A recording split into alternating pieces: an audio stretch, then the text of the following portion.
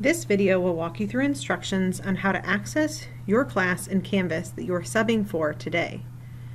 Canvas is a learning management system adopted by Carmel Clay Schools.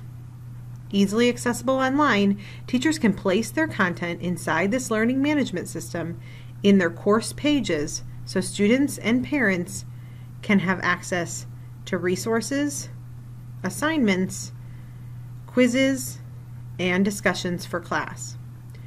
Today, the teacher you are visiting has added you as a daily sub to their course in order to deliver lessons to the students.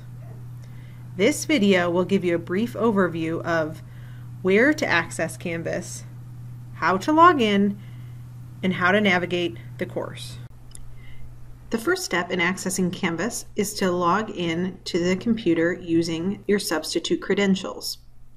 After opening a browser, and reaching your school's website, you will see a Canvas link at the top of the page.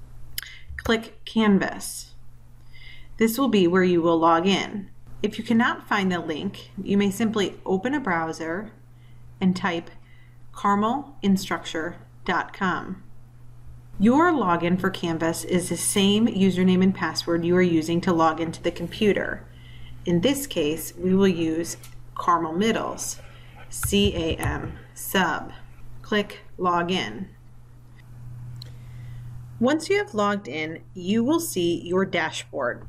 On the dashboard, you will see the courses in which you are teaching today. You may have to accept the invitation to join the course.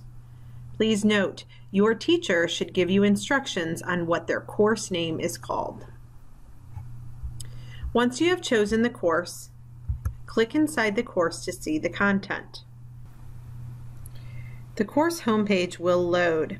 On the left-hand side of the screen, you will see assignments, discussions, or any tools that your teachers choose to show your students. Please refer to the teacher's lesson plans to determine what they would like you to cover. Once you are finished with your course, click Account on the dashboard and log out. Thank you again for subbing at Carmel Clay Schools.